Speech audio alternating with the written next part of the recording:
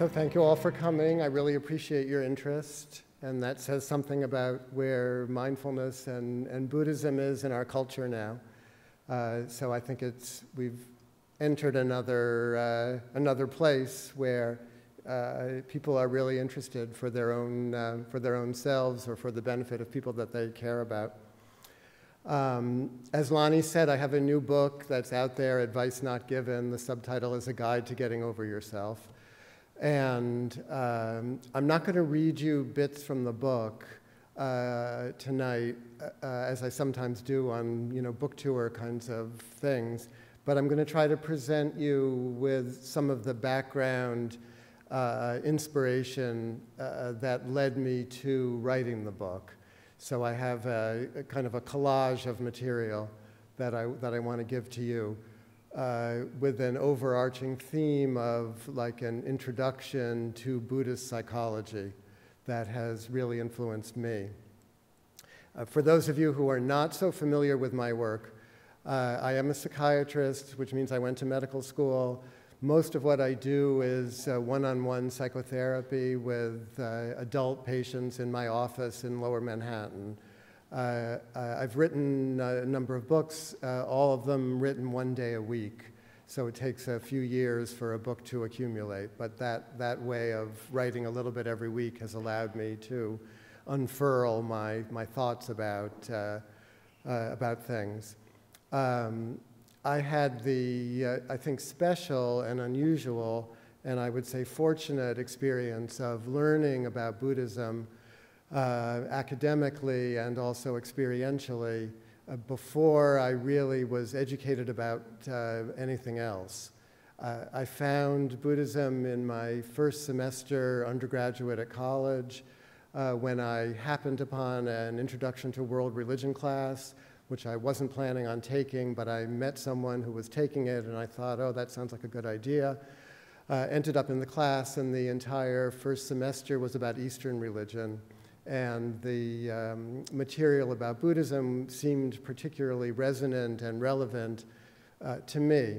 And I followed a, a um, uh, an indirect path uh, coming upon uh, various uh, teachers, scholars, experts in Buddhism for the next seven, eight years, um, along the way resolving to uh, uh, uh, go to medical school with the idea of becoming a psychiatrist and so on.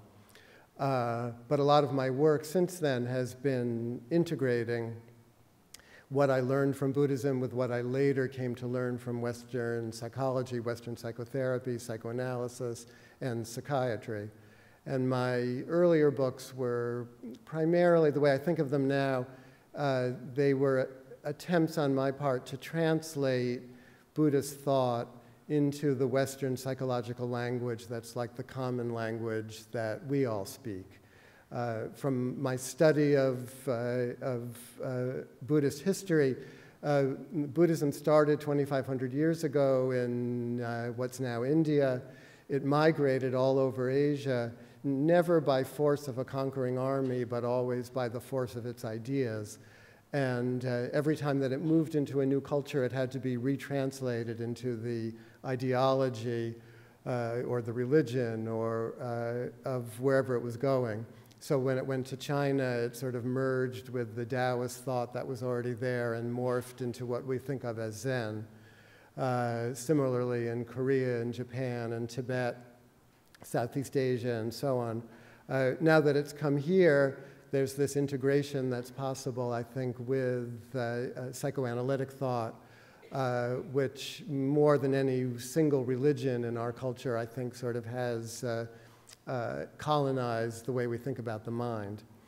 Um, this last book, uh, I came, the idea for it, I think, came originally nine years ago when uh, my father, who was then 84, was diagnosed with a brain tumor, a malignant brain tumor, the, the same sort that Edward Kennedy and now John McCain uh, ha, uh, has been diagnosed with. So it was a malignant tumor Uh, by the time my father discovered it, it had already traveled through his brain and there was nothing much to do about it. Uh, my father was a scientist, a researcher, an academic physician, first at Yale and then at Harvard, who never uh, uh, was that interested in anything spiritual. Um, he was very uh, glad that I went to medical school, which he had always wanted, and I had kind of resisted for a while. Um, and he was proud of my books and had them all in his office. But we never had much of a discussion about, you know, the heart of, uh, of Buddhist thought or anything. He wasn't that interested. I didn't think he was that interested. Um, and uh, it, there was never really an opportunity to, excuse me, to talk about it.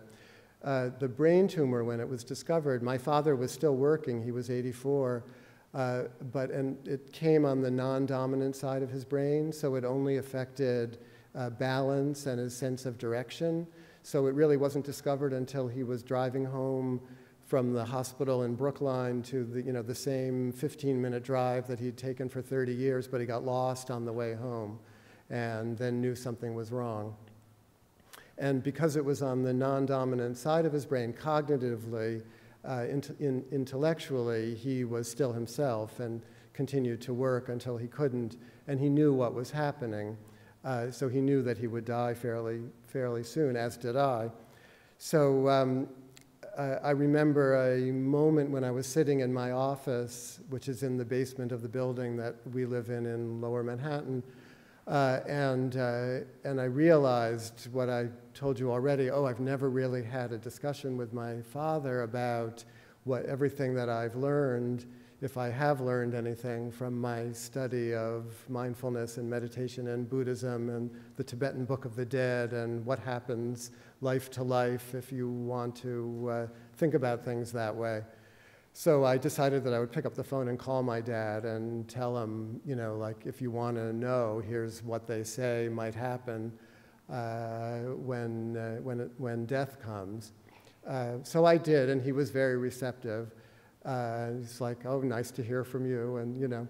Uh, and I said, you know, I don't know if you want to uh, hear this from me, but I feel ba- I'll feel badly if we never have this discussion because maybe it would be helpful and I tried to find non um, uh, Buddhist language to talk to him about it in, because he's basically a scientific materialist like most of us, and didn't, you know, thought, thinks that when he thought that when he died, he was just going to die, but he was willing to have the conversation.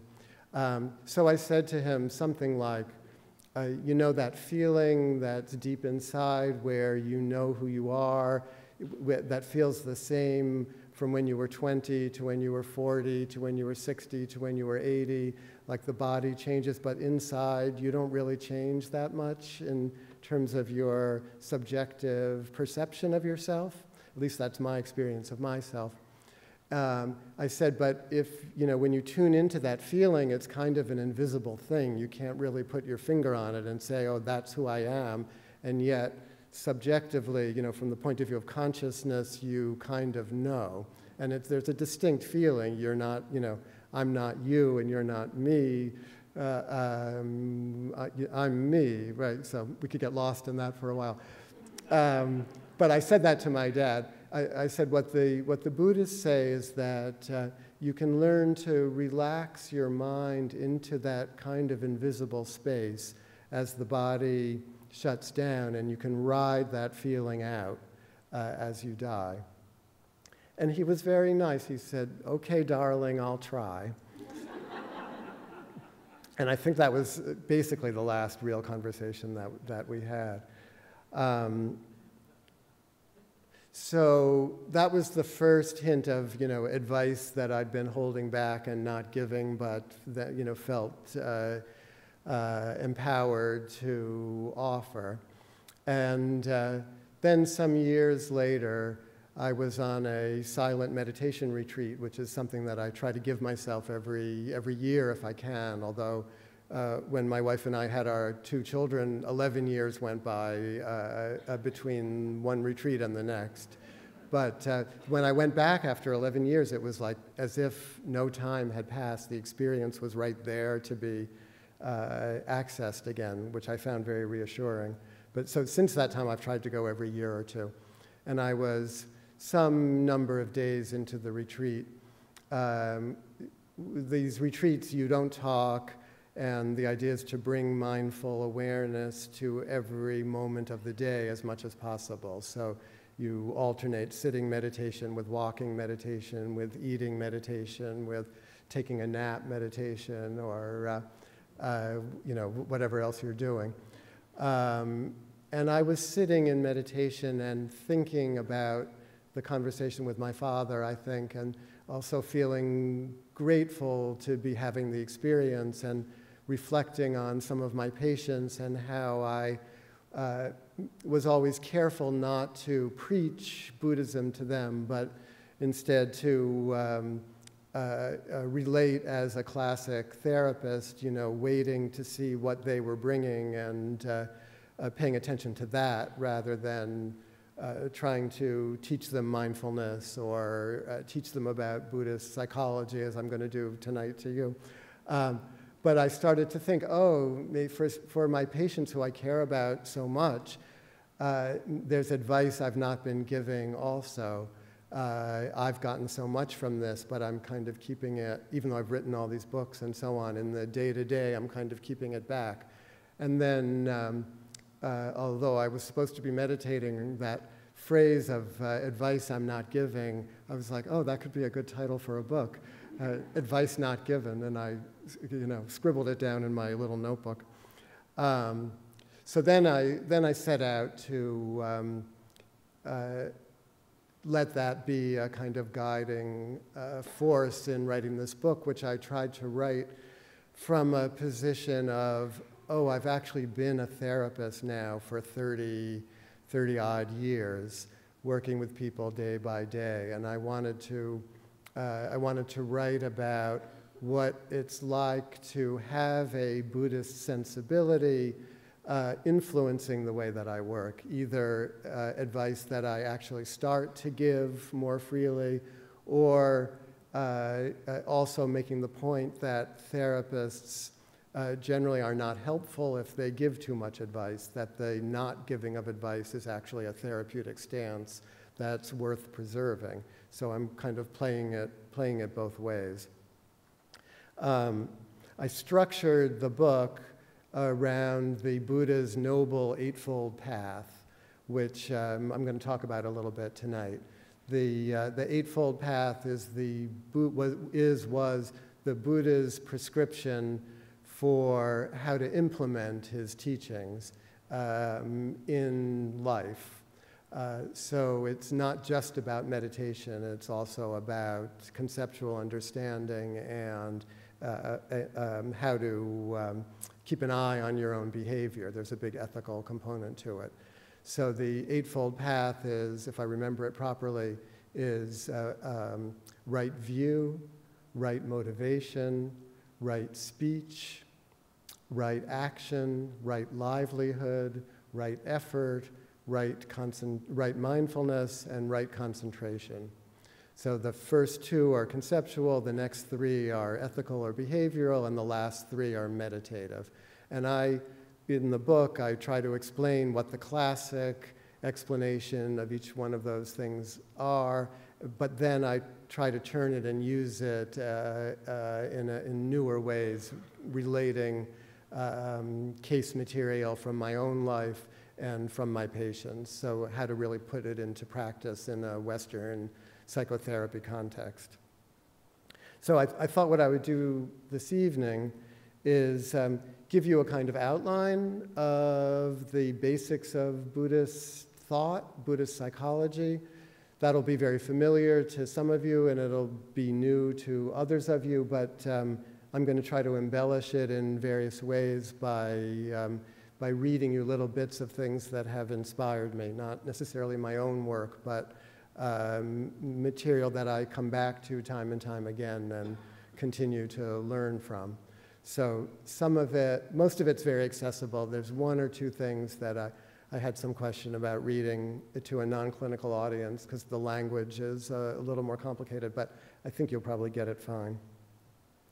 So uh, the Buddha, who seems to have been a real person, uh, although nothing was written down for three or four hundred years after he lived.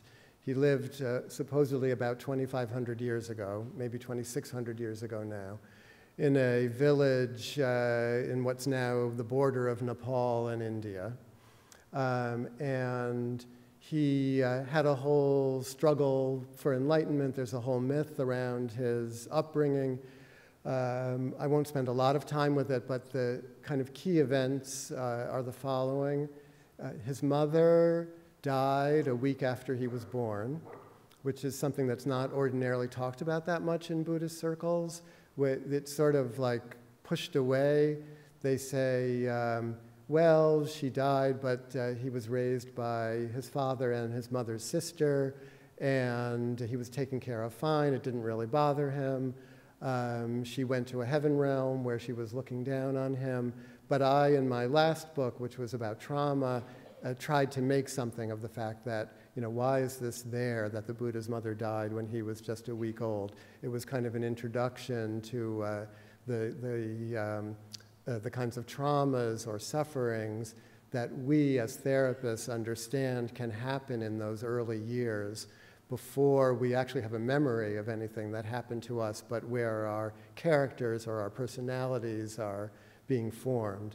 So I think it's um, meaningful that the, uh, in this mythical story of the Buddha's life, that right away they start with the loss of the mother. And when I was writing that book, I was actually uh, in the middle of another retreat at this same place where I go. And um, there's a little library in that retreat center uh, that you're not supposed to go to because you're not supposed to read or write. But I always go in, you know, like seven o'clock in the evening to see what might happen when I go. Um, and they have a shelf there with, with like the Encyclopedia Britannica uh, worth of books that are all the Buddhist scriptures translated into English. It's about that, as big as the Encyclopedia Britannica. And there's only one place in that whole set of volumes where the death of the Buddha's mother is talked about. Uh, and I stood in front of the whole uh, shelf, picked one book at random, and opened it at random, and there was the one description of the death of the Buddha's mother. So I, I was, I felt like, oh, that's, you know, serendipity really exists. Um, so uh, the, the Buddha was raised by his father and his aunt to never see old age, illness, and death. And he got supposedly to the age of 29 without ever knowing about it until he finally slipped out of the uh, contained environment, the palace walls that he was raised in, and then on this uh, ride with his charioteer outside the walls of the palace, he, of course, came upon uh, an old person, uh, a sick person, and a corpse. And he was so startled and unnerved, unsettled by, the, uh, by what he saw that he decided to set out on his spiritual quest in order to, uh, you know, con- conquer death, basically, or try to come to some freedom from the uh, impermanence uh, that faces us all. And uh, unfortunately, he left a new wife and a young son who had just been born. So he kind of sets up this uh, uh, abandonment thing where he reproduces the trauma of the loss of his own mother on his newborn son. But we can come back to that if anybody's interested. Um, so then he goes through a whole long struggle where he tries to subdue himself uh, according to the spiritual tradition of his time. The, his idea being that the body was bad, that passion was bad, that desire was bad, that emotion was bad, that thoughts were bad. And so he uh, basically starves himself. He becomes like a modern day anorectic patient, uh, gets down to, uh, you know, 80 pounds uh, and um, uh, is about to die from, uh, from the ascetic practices, from self punishment. And then uh, the only time in, uh, in the whole Buddhist world, he has a childhood memory.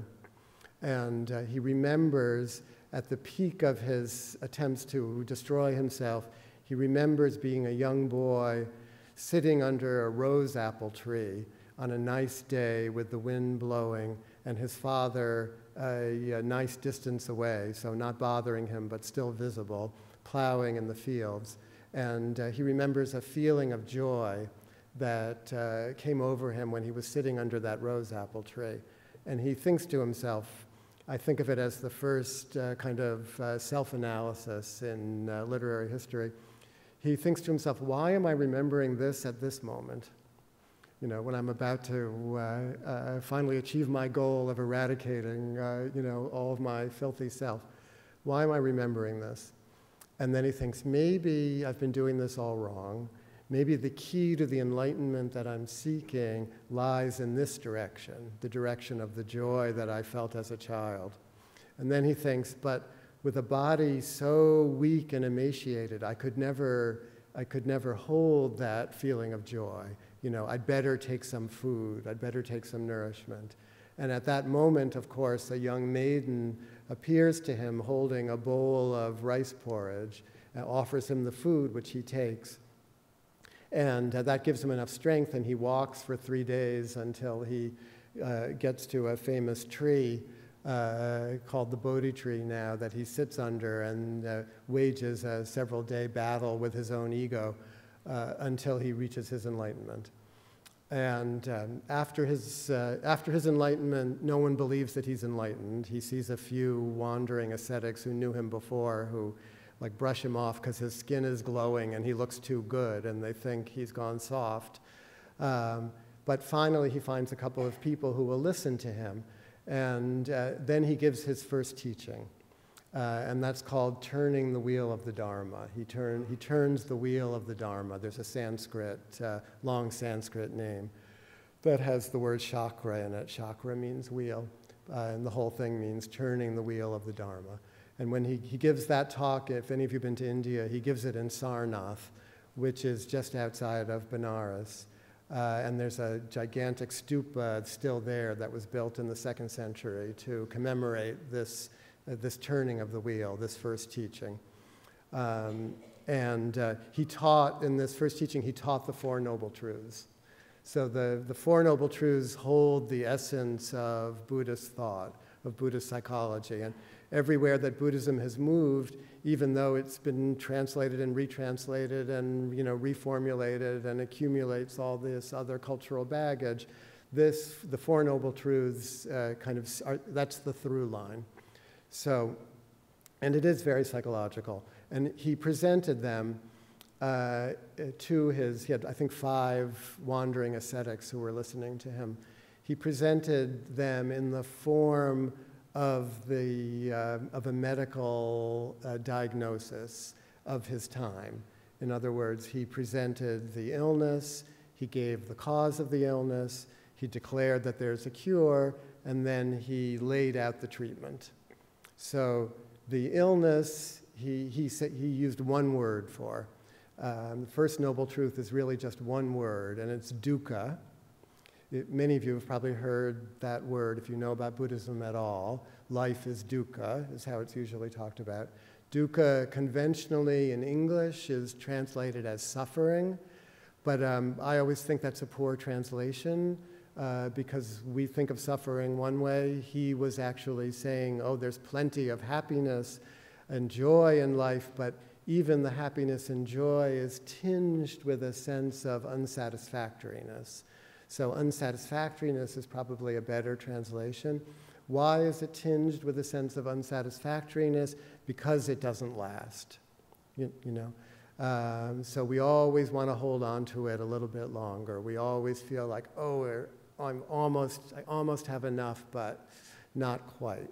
So, and then there's the other aspect of dukkha, which he discovered when he went out of the palace old age, illness, death, separation from those we love, being forced into confinement with people that we don't love, um, uh, et cetera, et cetera. He gives a long list of uh, you, you know, negative things that we all understand as suffering. The word that he used, dukkha, actually means hard to face. Ka is face, and du means is like difficult, difficult to face. And there's an opposite word in Sanskrit, which is sukha, which means like uh, pleasant, pleasant to face, kind of sweetness or joy.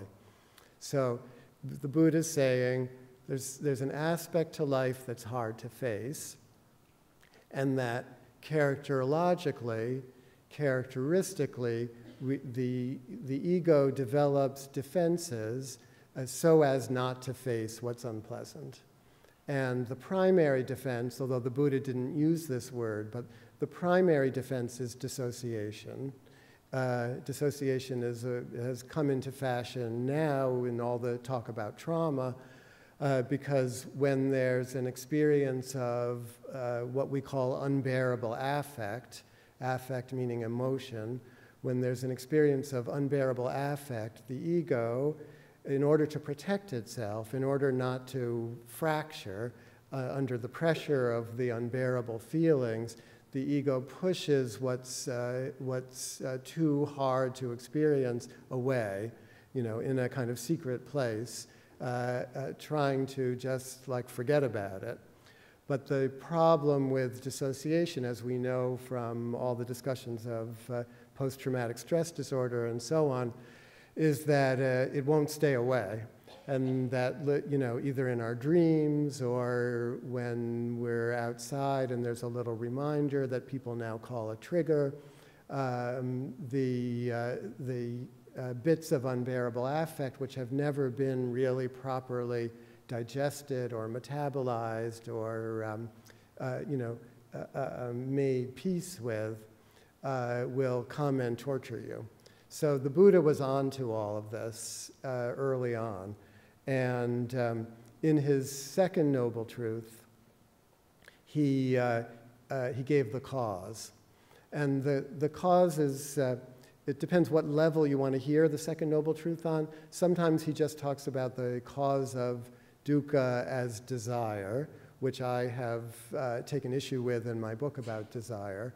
Uh, when it's talked about that way, it's because uh, you know, in an, in an addictive personality who can never get enough, then it's obvious that your addiction, your, your desire to you, you know, get more of the thing that made you feel good in the first bite or smoke or injection or whatever, it, it never does it quite uh, as well as the first time. But the, the, the uh, instinctive thing in us that wants more uh, keeps reaching for it. So, in that sense, uh, desire can be a cause of dukkha. But there's, on a deeper level, the words that he used uh, are um, uh, translated variously as clinging, as craving or as thirst. And uh, that's where he gets into a, a, a, kind of deeper psychological understanding, which is that uh, we all have the tendency to uh, hold on to what's pleasant and push away what's unpleasant. And there's no way to avoid the unpleasant in the world, and uh, there's no way to hold on forever to the pleasant. So uh, that kind of clinging uh, perpetuates the unsatisfactoriness. And then there's even a third level where it's not just clinging to the pleasant or unpleasant, but it's also clinging to a sense of identity, clinging to a sense of self. Uh, not that we don't all have a sense of self, as I was trying to tell my father, but the, who we think we are is not necessarily who we actually are, as you find out when you're facing death and you have to let go of everything that you thought you were, but there's still something left. So, uh, that coming to terms with how much and in what way we're all clinging to our identities is also part of the second noble truth. So, just to back up for a minute, I, I want to read to you one uh, little poem uh, which was the first thing that I ever read uh, about Buddhism uh, in that first introduction to world religion class that I took, which is a, a chapter called Mind in a Buddhist collection of verse called the Dhammapada, which is one of the earliest collections of Buddhist verse meant for people like us, not for monks or nuns, but for people who are living a real life in the world. And this touched me right away when I was a, a, a young man and uh, uh, still does. So um, I'm going to read it to you. Like an archer an arrow, the wise man steadies his trembling mind, a fickle and restless weapon. Flapping like a fish thrown on dry ground, it trembles all day, struggling to escape from the snares of Mara the tempter. Mara, remember, is the, uh, uh, the metaphor for the Buddha's ego, tempting him all the time. The mind is restless, to control it is good, a disciplined mind is the road to nirvana. Look to your mind, wise man, look to it well. It is subtle, invisible, treacherous. A disciplined mind is the road to nirvana. Swift, single, nebulous, it sits in the cave of the heart. Who conquers it frees himself from slavery. The mind in Buddhist psychology is both in the brain and in the heart. So it, it circulates, not just, not just localized in the brain. No point calling him wise, whose mind is unsteady, who is not serene, who does not know the Dharma. The Dharma is the kind of shorthand for the Buddha's teachings. Call him wise, whose mind is calm, whose senses are controlled, who is undisturbed by good and evil, who is wakeful. He knows the body for what it is a frail jar. He makes his mind firm like a fortress. He attacks Mara with the weapon of wisdom. He guards what he conquers jealously.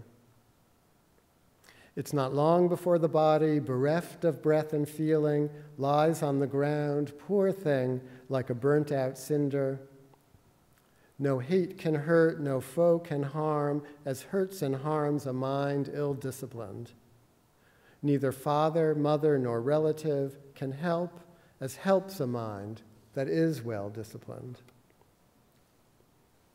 So that's, I mean, you can see why I liked it, especially as an anxious young person, like that description of the, uh, the trembling mind flapping like a fish on dry ground. Uh, uh, I felt spoke to me, but also the sense, the description of the mind, you know, I love those words, swift, single, nebulous, you know, like what is that? It sits in the cave of the heart, you know, subtle, invisible, and treacherous. Um, it, it's something compelling there. Uh, the, the refrain, a disciplined mind, now that's getting into the cure. Okay, so First noble truth is dukkha, unsatisfactoriness. Second noble truth is the cause. The cause is the way we cling. Okay? Um, the cause is ignorance. I- ignorance about what? Ignorance about the true nature of the self. We all instinctively think the self to be something that the Buddha says it's not. The Buddha gets sort of evasive about what it is. Uh, we can get into that if we, if we want to. But he's very clear about what it's not. It's not a thing. Okay, we tend to think of it as a thing and to think of ourselves as a thing locked inside of ourselves, you know, kind of at odds with everybody else in the world. And the Buddha is uh, into undermining that, that view. So the third noble truth is there's a cure, okay, and the cure is nirvana. Uh, a disciplined mind is the road to nirvana. Nirvana, what's nirvana? Nirvana liter- literally means like the blowing out. So it's the blow, what's it the blowing out of? It's the blowing out of ignorance. So the Buddha is saying, really, it's only the unenlightened life that is unsatisfactory, that's suffering. That once you achieve whatever this awakening is, that no one believed he had really had when he had it, uh, his first thought upon his awakening was, No one is going to believe me about this. I think I'm just going to keep quiet. Um, and then in the myth of the Buddha, the, the great god Brahma, sitting in a heaven realm, comes down to the Buddha and says, No, come on, try to talk about it. There's a few people with little dust in their eyes who will be able to understand what you're talking about. So the Buddha relents, but he knows it's going to be hard to understand. So, anyway, the, the cure is nirvana.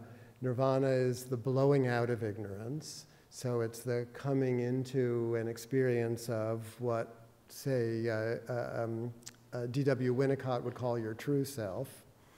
Um, and then uh, the fourth noble truth uh, is, is the Eightfold Path that I already laid out for you. The fourth noble truth is the treatment. It's the way both uh, to awaken your mind, and it's also like the sort of roadmap for what to do once you've gotten a little glimmer of, oh, I might not be who I thought I was. How do I stay on the path? So the Eightfold Path is both the way in and the way out, if that makes any sense. Um, the best description that, that I found about what that enlightened state of mind might look like uh, came to me uh, when I was traveling in Asia um, in the late 1970s.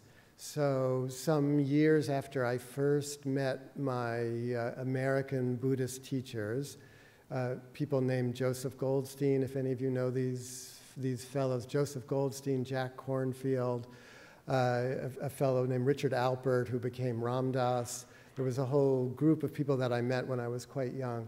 And um, I traveled with them before I went to medical school to meet their various teachers, first in India, and then in Burma, and then in Thailand, and then in Sri Lanka.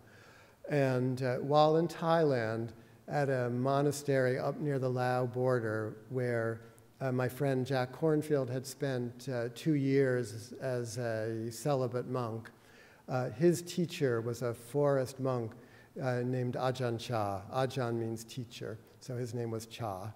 Um, and he was a lovely man who, uh, a couple of years after we met with him, he had a stroke, and, uh, and his devotees used to carry him around, you know, because he couldn't walk anymore. But when I went to see him, he was fully functional. And um, we had a meeting with him where we asked him a question that I can't remember anymore, but basically some kind of question about, you know, what's the essence of uh, what you understand about nirvana. Um, and he answered it this way, which has stayed with me. He, um, he picked up the drinking glass that was next to him, and he held up the glass and he said, uh, Do you see this glass? I love this glass. It holds the water admirably. When the light strikes it, it makes beautiful reflections. When I hit it with my finger, it has a lovely ring. He said, But when I put the glass on the shelf and my elbow knocks it off, or the wind blows and it falls to the ground and breaks, I say, Of course. But then he said, But since I know that the glass is already broken, every minute with it is precious.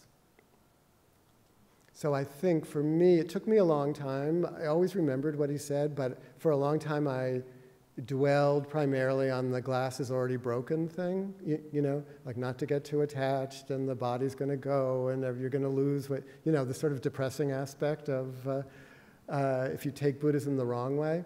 But then I remember, I came back to it, you know, once I know, so once he's not dissociating from or pushing away the truth of impermanence, you know, that everything breaks, you, know, then every minute with it is precious. Okay? Every minute is precious. Every minute that we have with our bodies, with each other, with, you know, with the high school um, is, is precious. And that, that, there's something about the uh, enlightened point of view there worth paying attention to. Um, so, the Eightfold Path I'm not going to go through every aspect of it, but I did structure the book around it. But, I, but I want to emphasize a few things. Uh, the first is um, right view. Now, right view is a, uh, is a conceptual thing, it's a cognitive thing. There are schools of Buddhism, the, the school of uh, Tibetan Buddhism, for instance, that the Dalai Lama is the head of, the Gelugpa or Yellow Hat school of Tibetan Buddhism.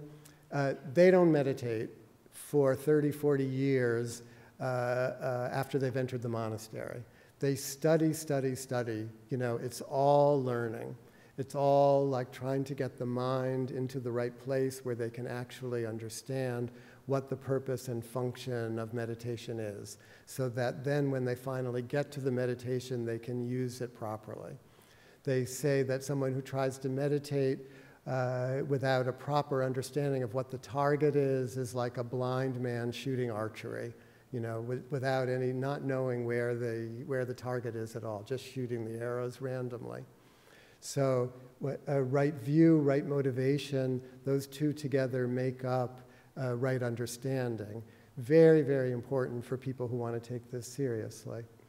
Um, my friend Robert Thurman, who's a professor of Tibetan studies, professor of Buddhism at Columbia, who I sometimes have been lucky enough to teach with, he tells a story about his Mongolian Buddhist teacher who taught him in the 1960s in New Jersey, uh, who he loved, who used to say to him, you know, it's about the Buddhist idea of emptiness and non self and so on. He used to say, it, it's not that you don't have a self. Of course, you have a self you, you know, you have a real self. But the problem with people like you is you think yourselves are really real.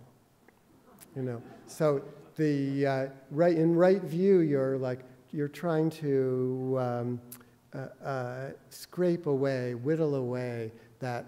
Where does that feeling of really real? You know, where does it come from in you? Like, how do you experience it? You want to you want to find once you get some facility with meditation, it stops being about paying attention to the breath or paying attention to a mantra or trying to quiet your mind. It becomes a search for the way that you take yourself too seriously. Okay, like how does the self that you cling to, how does it actually appear? So, in order to understand selflessness, which is a fundamental Buddhist concept, in order to understand selflessness, you first have to find the self that you take to be really real. And they have a bunch of interesting meditations, a bunch of ways of provoking that. Uh, one of them has to do with the experience of, uh, of what they call injured innocence, when someone who you really care about, someone who you love, whose opinion about you matters, accuses you of doing something that you didn't do, blames you for something, and inside of you, you what you you were saying, that's not. You know, I didn't do that. You know, how can you accuse me of that? And they, what they say is that the sense of self, the self that doesn't exist, becomes most apparent to you at those times of injured innocence when you're accused of doing something by someone you love. So instead of getting mad and you know staying up all night trying to process whatever the thing is to get the person to understand it the way you understand it so that they can forgive you. Uh, the Buddhist way is to use those opportunities to, uh, uh, to find that bit of self and then to explore it meditatively. Because what do you find? What is it actually made of? You know, as you investigate it, as you take it apart. The, the kind of meditation that I'm most familiar with is called vipassana, um, which means insight. But uh, the word vipassana, when you take the word vipassana apart, it means to take something apart, and it means to dissect. So, uh, what you're doing in meditation is taking apart your experience in order to see the way if you take an atom apart, you know, an atom is is real, but then when you, when you investigate further, it starts to be all probability and potential. You know, you can't actually put your finger on an electron. It becomes like that. Um, this is the piece that I was a little worried about reading, but I'm going to read it anyway.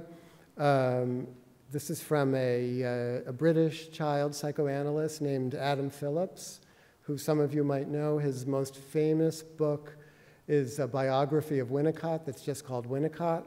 And then he has another well known book called On Kissing, Tickling, and Being Bored, which I think is a classic. Um, but this is from a book called Missing Out. Um, and uh, I, I think about it in terms of the Buddha's uh, uh, right motivation, the second limb of the Eightfold Path.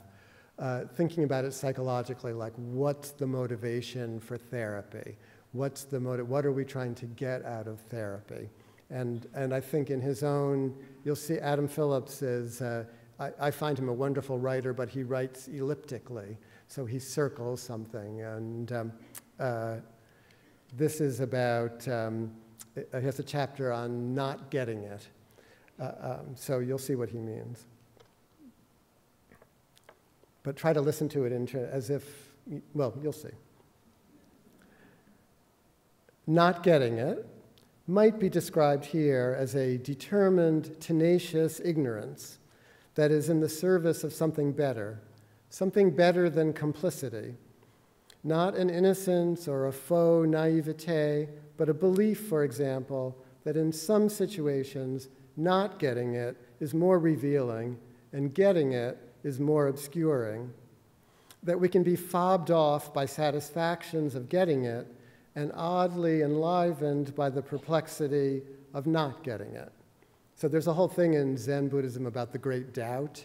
I think he's sort of, he's not really Buddhist, Adam, but uh, I think he's talking about what the Buddhists might uh, also be talking about, about encouraging doubt rather than being so certain about uh, um, who we are.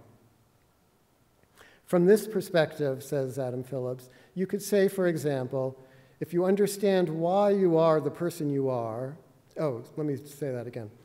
From this perspective, you could say, for example, if you understand why you are with the person you are with, then you are not really with them. You could say that the belief that there are consensual objects of desire is an anxiety about objects of desire, about the unfathomable idiosyncrasy of desiring, or an anxiety about there not being any objects of desire. And you could also say, perhaps less obviously, that if you want to be with someone who gets you, you prefer collusion, a good word these days, you prefer collusion to desire, safety to excitement, sometimes good things to prefer, but not always the things most wanted. We have been taught to wish for it, but the wish to be understood may be our most vengeful demand may be the way we hang on as adults to our grudge against our mothers, the way we never let our mothers off the hook for their not meeting our every need. Wanting to be understood as adults can be, among many other things, our most violent form of nostalgia. I love that, our most violent form of nostalgia. But uh, you can see the relevance to the Buddha's second noble truth okay, to the clinging or craving or desire, you know, the desire to be understood, the desire to finally make that thing with the mother, you, you know, come, uh, come clean. He goes on. Sometimes when I read this, I read a lot more of Adam, but I'll just read you the last part. He's talking about Freud here, but he could just as well be talking about Buddha, I think. It is not an increase in self knowledge that Freud describes, but its limits. He tells us a story about the need to grow out of a need for understanding and being understood. The child needs his parents to get him, to be sufficiently attentive to his needs and fears, and then he needs to be weaned of this. Understanding first, by definition, within reason, then the freedom to also not understand or need to. Psychoanalysis is, in fact, the treatment that weans people from their compulsion to understand and be understood. It is an after education in not getting it. Through understanding to the limits of understanding, this is Freud's new version of an old project. Freud's work is best read as a long elegy for the intelligibility of our lives. We make sense of our lives in order to be free, not to have to make sense.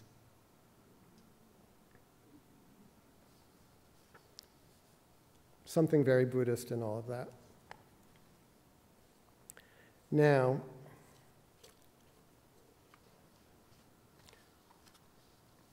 right speech right speech conventionally, uh, in, you know, in the, uh, uh, when it was presented to the monks and nuns and so on, was about uh, not engaging in gossip, not uh, saying nasty things about other people, not talking tritely, you know, saying only what's meaningful. But um, I've tried to take right speech and turn it inwards because I think the way we speak to ourselves under our breath is uh, uh, uh, equally important, if not more important, and certainly comes up in the psychotherapy office. Um, so many people uh, uh, have a um, repetitive refrain of either self judgment or judgment of others that they're formulating repetitively uh, in their thinking mind. And uh, a lot of the time, we don't pay attention to that, or, uh, or, we don't really know what's going on, even if we do sort of pay attention to it, and we never think that there's something that we could do about it. But that again, those judgmental thoughts are wonderful objects of meditation. So, in meditation, especially when we're doing mindfulness meditation, which is not about concentrating the mind on a single object, but about allowing whatever is happening to unfold within the theater of our minds, we can see all of those judgments. And that's often the big revelation on a first retreat is to see how much time is spent uh, judging oneself or judging somebody else. But, um, the, uh, and also seeing how repetitive those thoughts are. So once you catch on to, uh, oh, it's just a refrain, then you can learn to kind of see the transparency of the thoughts so that instead of uh, focusing on the content, you start to focus just on the inflection of the thoughts. And uh, lo and behold, they tend to die down.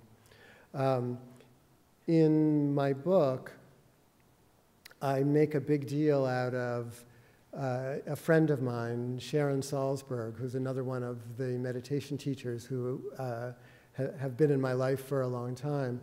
Uh, she wrote a wonderful book, one of the first books she ever wrote, which was just called Faith. Uh, Sharon Salzberg is her name. And in that book, she's the most revealing about her own uh, uh, individual psychology um, of any Buddhist teacher that I know. And uh, you'll see what I'm going to read you a little bit from her book, and you'll, you'll see why. This is in terms of right speech. She begins the book with this Each of us tells ourselves some kind of story about who we are and what our life is about. As is the case for many, the story I told myself for years was that I didn't deserve to be happy. Throughout my childhood, I believed that something must be intrinsically, intrinsically wrong with me because things never seemed to change for the better. My father, whom I adored, disappeared when I was four, and my mother and I moved in with my aunt, with my aunt and uncle. One night, when I was nine years old, my mother and I were home alone. She had recently undergone surgery and seemed to be recovering well. In celebration of her return, I was wearing my ballerina Halloween costume. We were sitting close together on the couch, watching her favorite singer, Nat King Cole, on television, when suddenly she began bleeding violently. I ran out into the hallway to get someone to help us, but couldn't find anyone. My mother managed to tell me to call an ambulance immediately and then to call my grandmother, whom I hardly knew, to come and get me. Shaking uncontrollably, I complied. After that evening, I never saw her again. About two weeks later, she died in the hospital. After that, I lived with my father's parents and rarely heard mention of my mother again. My childhood continued to unfold through terrifying, uprooting turns and incomprehensible losses. When I was 11, my grandfather died, and one day my father returned. The handsome prince I'd secretly imagined had been replaced by a disheveled, hard bitten, troubled stranger. Six weeks later, he took an overdose of sleeping pills. That night, my father entered the mental health system and was never able to function outside of it again. One of the hardest parts of all of the loss and dislocation was that it was surrounded by an ambient, opaque silence about what was happening. Because no one spoke openly or even acknowledged all the changes as loss, my immense grief, anger, and confusion remained held inside. Whenever the cover slipped, I scrambled to hide the feelings or distort them so that no one would really know, especially not myself. So here you can see, this is what I was talking about at the beginning about dissociation and the dukkha, the suffering that's part of life, that the people's reaction, either Sharon's as a child or her family, is trying to protect her, much like the Buddha's family, you know, like let's just not talk about it. And I've heard that over and over again. A friend of mine whose mother killed herself when he was a young boy, father came down the next day, no one ever talked about her again. You know, like that, it's just so hard and people don't know how to do it. They're not doing it to be punishing, they just really don't know how. And doctors are as bad when it comes to, uh, you know, malignant cancers and so on. Um, they, uh, you know, they only want to talk about the hope, but not about the reality. Sharon goes on. The story I was telling myself was that what I felt didn't matter anyway. Feeling so different, I liked playing it safe more than anything, seeing life from a distance, never really engaging, preferring to lose myself in the seductive play of listlessness. I didn't care about anything, or so I hoped it seemed. I came to know very well the protection of distance, of a narrow, compressed world. Though it was my own act of pulling back, I felt forsaken. I told myself a story that there was no way out of the world that turned me in upon myself. Years later, as an adult, I would find the phrase that perfectly described my dilemma. Some friends and I had rented a house near the ocean where we could practice meditation on our own for a few days. In my designated bedroom, I found a Peanuts comic strip on the desk, which went something like this Lucy is sitting in a little booth, a doctor is in sign prominently displayed. She tells Charlie Brown, You know what your problem is, Charlie Brown? The problem with you is that you're you.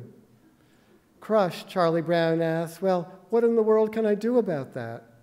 Lucy responds in the final frame, I don't pretend to be able to give advice. I merely point out the problem. In fact, Sharon says, until I was 18, Lucy ruled. My resistance to participating more fully in life came to feel like the most alive, vibrant thing about me. I often found myself in many endeavors not really trying because I was secretly sure that I'd fail. I'd learned well enough to hold life in abeyance. For years, I hardly spoke. I barely allowed myself a full blown emotion. No anger, no joy. My whole life was an effort to balance on the edge of what felt like an eroding cliff where I was stranded. I was waiting, suspended. I once asked a psychiatrist friend what he considered the single most compelling force for healing in the psychotherapeutic relationship. Love, he replied.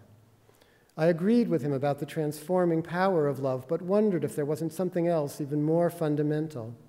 For all we know, I suggested, what's, more, what's most important to healing and therapy is that people show up for their appointments. The therapist's love can nurture healing, but it's our own faith in that possibility that impels us to show up and take each new step into the darkness. To seize such possibility for myself, I first had to reach within the lassitude coiled tightly around my heart and begin transforming how I felt about my heart and about myself. I had to give up my protective distance, alter my habit of withdrawal, and learn to participate, engage, and link up. I had to acknowledge that underneath my facade of indifference, I cared, and in fact cared a lot. I cared about what happened to me and what happened to others. I cared about life. So Sharon, like me, was lucky enough to find Buddhism early, and uh, the teachers that she found, the relationships that that nurtured, and also the practice really allowed her to be able to write something like that, you know, to see how constrained she had become as a result of circumstances she had no control over, how she blamed herself for them, and then, but then how they didn't have to define her. And, uh, and I think in terms of bringing a Buddhist view into a, um, a psychotherapeutic relationship, uh, she's, she's describing that very, very well. Um, kind of uh, in that vein, do, do any of you know the poet Louise Gluck? The, she's a wonderful poet, and some years ago there was a, um, a big long piece in the New Yorker about her that I, that I cut out. She was uh, anorectic as a young girl, and uh, what she describes, I think, goes along with what Sharon described uh, and uh, plays back to the Buddha's life history and maybe relate. You know, there are many different ways that uh, our lives take us, but, and these are some of the more severe ways that people shut down on themselves. But I don't think that they're extraordinary. I think that uh, many people uh, uh, shut themselves down in one way or another. And the opening up process really does have to do with uh, establishing a different uh, point of view within one's own mind. So, what I'm hoping to do, I want to finish with this bit of uh, material from Louise Gluck, and then, if it's okay with everyone, lead you in a little bit of meditation, and then uh, take some questions, if that seems okay. So, uh, Louise Gluck, just to give you a little history, was born in 1943 in New York City and raised in, on Long Island. A sister died before Gluck was born. Her death was not my experience, she says, but her absence was. Her death let me be born. That severity of judgment, the writer here says, is typical of Gluck, who often pares experience down to brutal cause and effect. Gluck sought her mother's approval exclusively, approval that was usually withheld.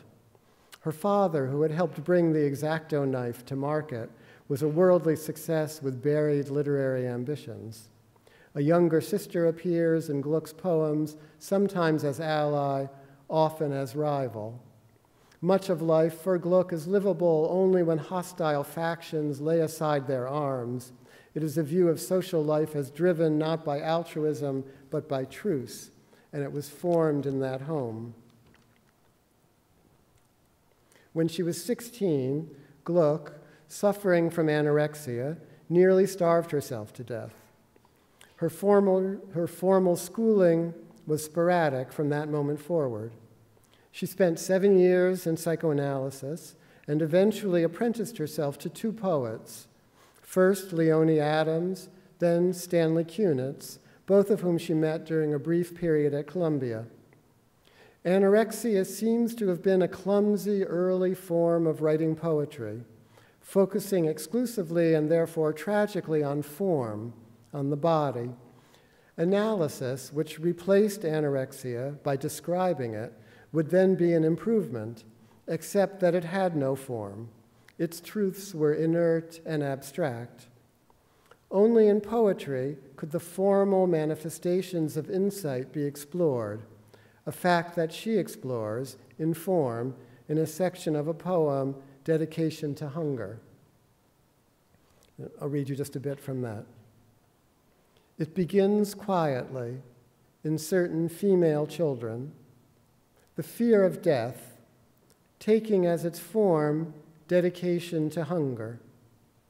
Because a woman's body is a grave, it will accept anything I remember lying in bed at night, touching the soft, digressive breasts, touching at 15 the interfering flesh that I would sacrifice until the limbs were free of blossom and subterfuge.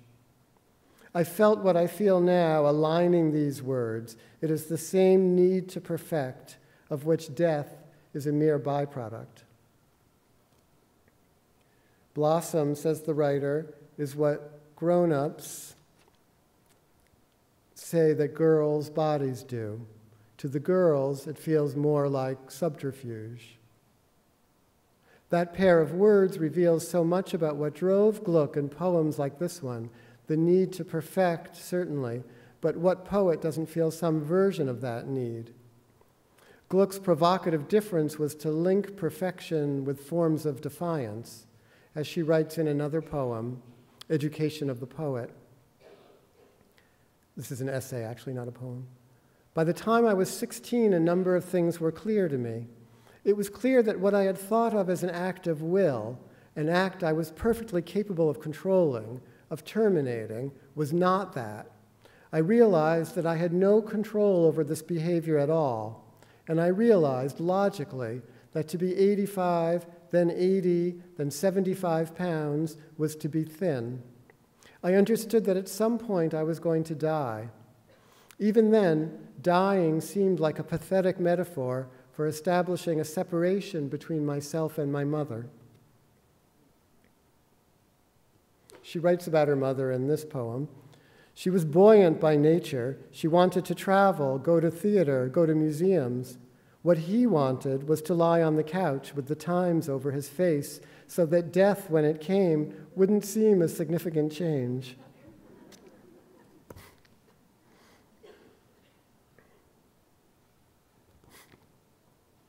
And then just a couple that, that they end the piece with. Um, she writes about being a child with her sister playing a game of family. I was the man, I was the man, she writes, because I was taller. My sister decided when we should eat. From time to time, she'd have a baby. And then uh, I had a dream my mother fell out of a tree.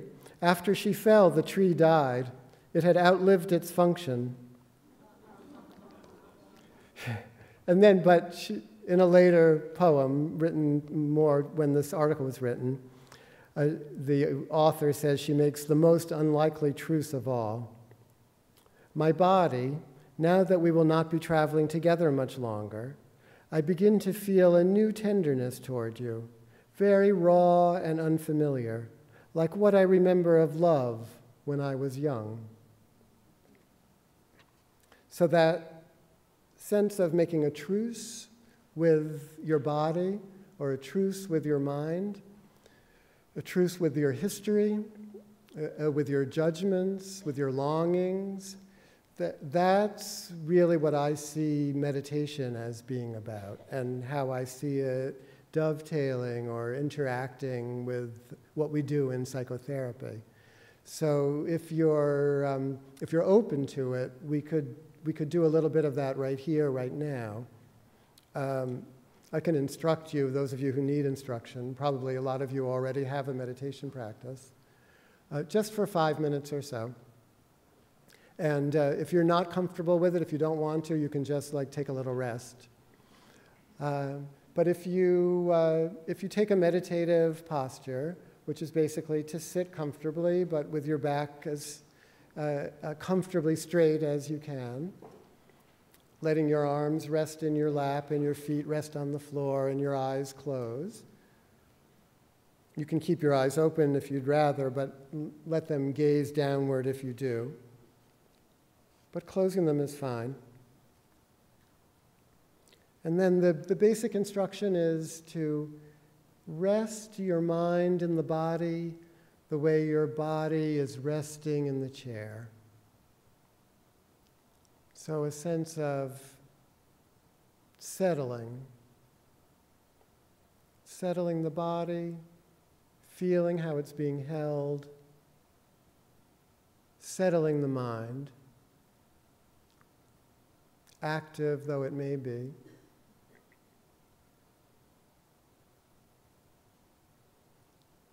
And just opening your senses opening your ears to the sound of the auditorium and my voice.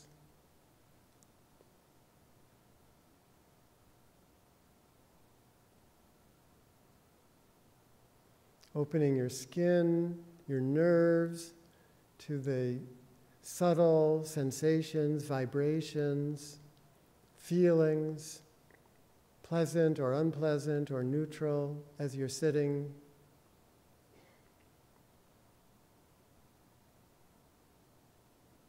opening your visual field, even if your eyes are closed, to the play of light and dark, color.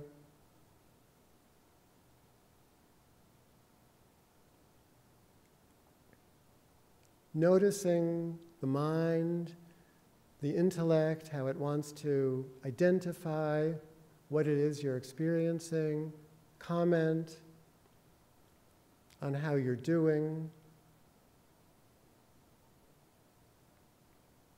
thinking random thoughts about past and future.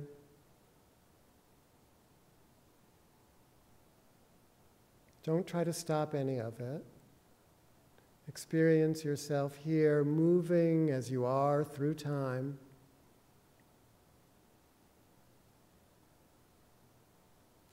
Paying attention especially to how your experience is changing moment to moment.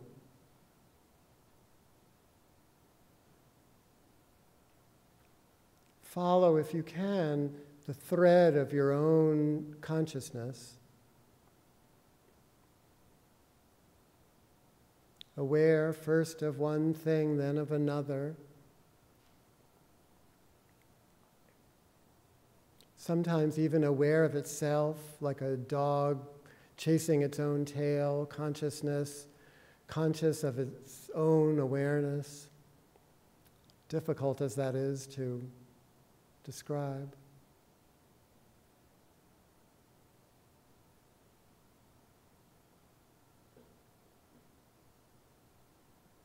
Let your mind be open as if it were a vast sky. Sometimes empty, blue, shining, sometimes filled with clouds, stars, wind, rain, fog in Chicago.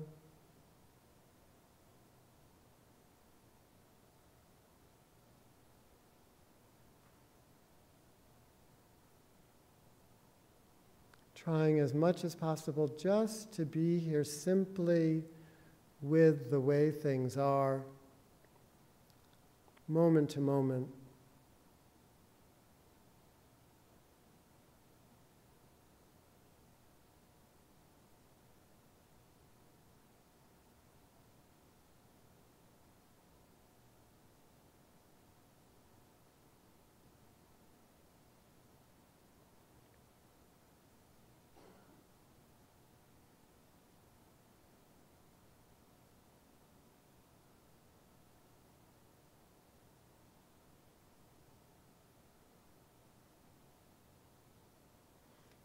Pay particular attention to that little voice that you know or that you think of as you, commenting, maybe even judging, maybe even wondering how long we're going to do this for.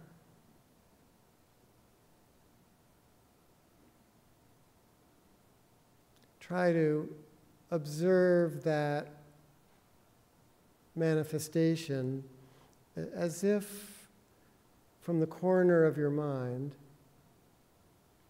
like you've set up a kind of spy consciousness, eavesdropping on yourself.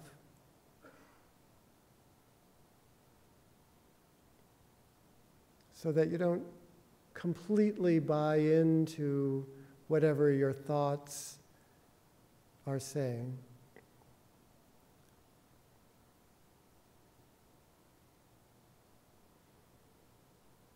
If your mind is quiet, that's fine. There's plenty still to pay attention to. Just be with it as it changes.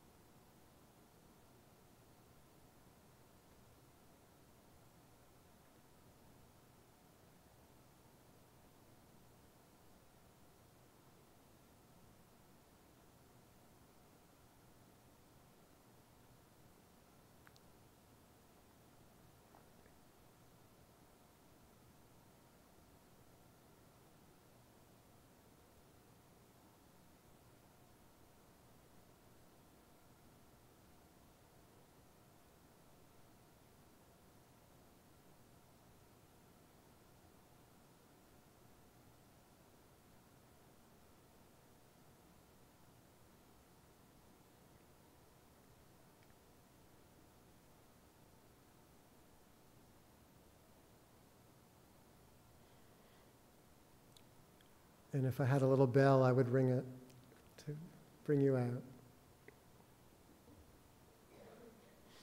So that's, a, that's an example of where, where mindfulness meditation can go, where we're no longer, you know, uh, trying to quiet the mind, but we're just making room, making room for everything to be as it is. And that, uh, that kind of meditation practice for a while is, is, becomes very revealing. Thank you. You can stand up to ask your question. Keep the microphone close to you. Uh, th- Thank you for your presentation, and uh, I had a question. Um, It's really my first, I guess, introduction to Buddhism, if you will. So I'm wondering, is it kind of more of a traditional or classic religion, or does it kind of allow for entrance of other religion? Um, For example, I'm assuming in your case Judaism, but I don't know why you would assume that. um, you could all hear the question, right? Yes. Yeah. Uh, I always think of Buddhism as the most psychological of the world's religions and the most spiritual of the world's psychologies. That, that's, that's how I think of it. Um, but I think, you, you know, unfortunately, if you look at what's happening, say, in Burma, where the Buddhists are, you know, um, ethnically cleansing the, the Rohingya people. There, it, it's, uh, I don't even know if you would call that a religion or if you would call it a, you know, clan-based uh, ideology. Uh, it certainly is a religion, has become a religion in many of the cultures where it has taken root. And at the same time, there are people who within the religion of it would uh, try to free themselves of the, uh, um, the uh, uh, religious aspects in order to get to the essence of it. So I think in, in Buddhism coming to the West, we have a chance to re examine it and kind of free it from its cultural context and let it reestablish itself. And there's a lot of argument uh, among Buddhists about uh, uh, how much to let go of the Asian cultures that, of their interpretation of it, and how much to continue to see it as a religion. Um, the, the Dalai Lama, uh, when he talks about it, always says, no, no, no, don't leave the religion of your origin. If you find something useful in that religion, don't become a Buddhist. Just take what's helpful from Buddhism and use it. And that, but he does that a lot of sort of false disclaimer because there he is actually propagating Buddhism, you know. But I think in a way he believes that. It, it fits very nicely. Um, with, there, are, there are many people who still identify themselves as Jewish or Christian or Hindu or Islamic, whatever, but draw from Buddhism what's helpful. I think there are many other people. Now, if, when people ask me, Are you a Buddhist? I say, Yes, I'm a Buddhist. But um, my children were bar mitzvahed, you know, so. Uh, uh, Let me see. Susan, do you have someone on your side? Otherwise, I'll take this nice lady. If you could stand up for your question. Keep it by your mouth so we can- Hi, thank you for this evening's chat. I wonder if you could talk to us a little bit about um, your conversation with your father about death and how you helped him to um, move through that experience without fear and talking about, um, you know, possibly the body as just the shell of the spirit or soul. Could you all hear? Um, well, I wish I had been able to help my father more move through death. Uh, the conversation I described to you was the conversation that I had with him.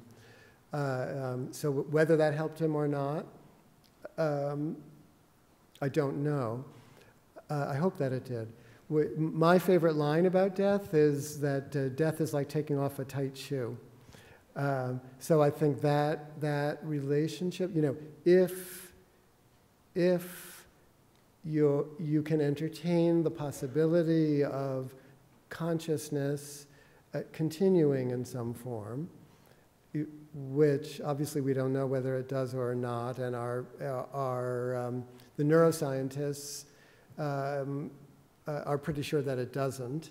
But if you can entertain the possibility that it might, and if you have practiced in this way uh, meditatively to uh, not align yourself either for or against the pleasant or the unpleasant, but to develop a vast uh, equanimity uh, um, towards all things, then you can imagine a process uh, like death that one could travel through with that kind of equanimity.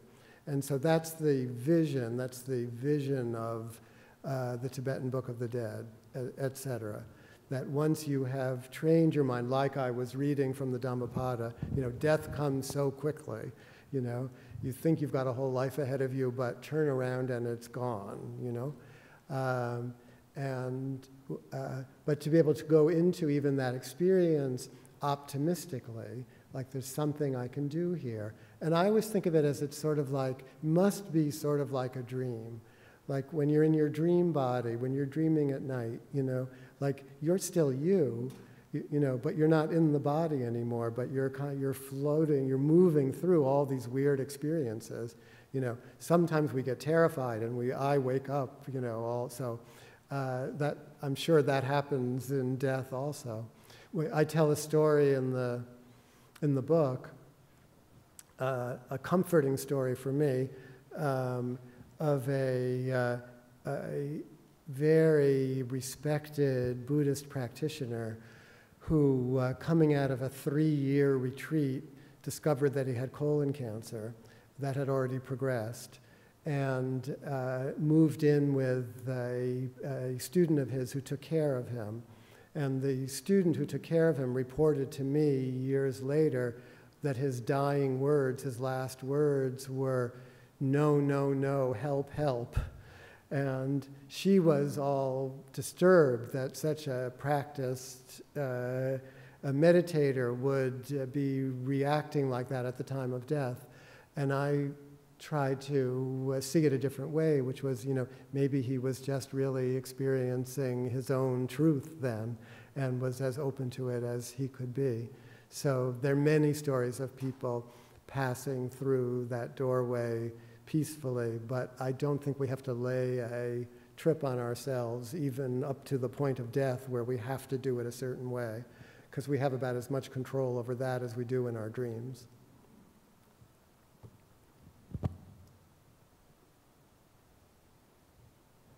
You stand up, and then keep the microphone back. They, they do say to go towards the, uh, go towards the brightest light and the loudest sound uh, when you're dying, not to shrink away from them, that go towards the light. Hi, um, I'm a high school student, and I've noticed that mindfulness practice has become somewhat of almost a trend, I think, in um, young people.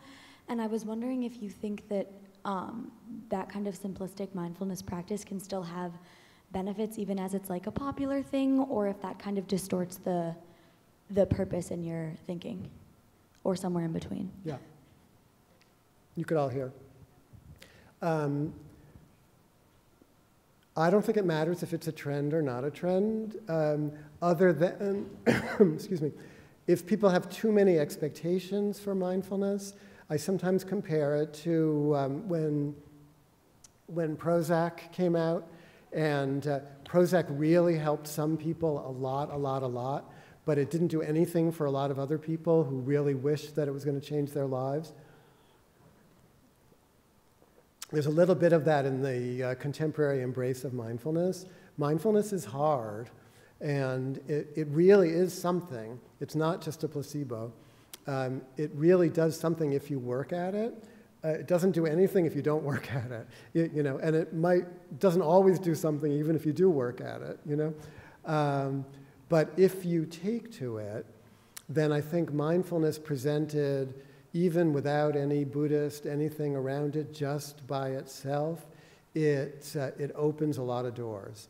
um, because it's a real, it's a real discipline. You, you know, it really is a way to get a handle on your own mind. And uh, that can be a great thing to have in your pocket. So for a little while, I was worried because I, you know, I found it when I was 18, 19 years old, and um, I would always be, every retreat I went to and so on, I would always be the youngest person on the retreat. Up until into my 60s, I was still the youngest person. And, uh, uh, but now, now it's like uh, uh, creeping into the general culture, which is, uh, you know, I think hopefully a good thing. Uh, but it probably it'll fade out. You know, some, something else will take its place. Okay, this will be our last question right here. If you could stand up, ma'am.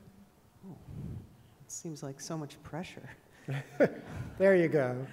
Um, It's kind of an ironic question, but with our lives being so busy and high speed, how do you start to work some kind of mindfulness meditation into your life, I guess? Yeah.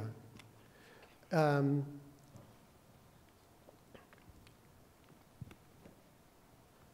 people make a big deal about how high pressure and high speed our lives are now. Uh, you know, complicated by digital life and cell phones and everything. I have a feeling there's always been a, a, a high speed and pressure to life, uh, even going way back. Um, uh, so I think it's wonderful, like uh, the way I've tried to go on retreat every year since my kids got old enough to be able to take a week or two weeks uh, and drop everything and go away to a monastery, you know, or to a retreat center and just practice. Uh, I mean, that is a true gift that you can give to yourself. That's a real spa experience for the mind. And it reveals what meditation is capable of doing. At the same time, I really believe that the point of it all is to be able to live a high pressured, busy life, uh, uh, experiencing every moment of it as precious. Uh, and that it's just as possible to do that in a busy life, or it's just as, as, as in a slow down one, and it's just as difficult to do it in a busy life as it is on a meditation retreat. Um, so I think that's where the practice, you, you know, it's not just sitting in silent meditation for X number of minutes, you know, X times a day.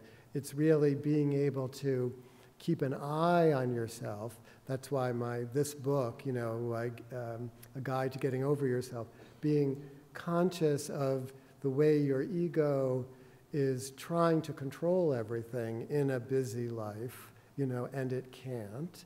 It can control some things, a lot of things, which is great. But when it can't, that's where we start to uh, struggle. And so being aware of that struggle and relaxing in the midst of it, that's as much a meditation as sitting on a cushion and watching your breath. So I think that to be able to deploy it in that environment makes it meaningful. Everyone, let's please thank Dr. Epstein. Thank Thank you all. Really appreciate it.